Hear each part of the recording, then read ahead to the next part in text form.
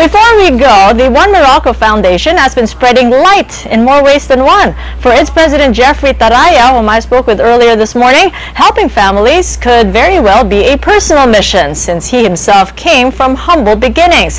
His loftiest dream as a young boy was to become a pope. But when going to the seminary didn't pan out, that didn't stop him from pursuing his desire to help other people. Instead, he goes to far-flung islands and remote mountain areas to spread the word and the benefits of sustainable energy. And by pushing for an alternative power source, he hopes to spark change and light the way to better opportunities. Very inspiring. For more on these and other behind the scenes, visit abs